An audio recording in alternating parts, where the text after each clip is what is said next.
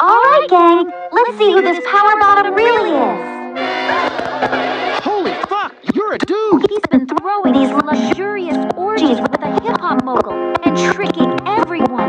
And if it was not for you cock blocking bitch ass cracker children, I would have been swallowed. Oh my god!